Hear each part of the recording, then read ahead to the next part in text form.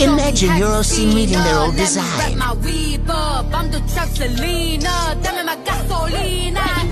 Watch your man, you should watch your mouth.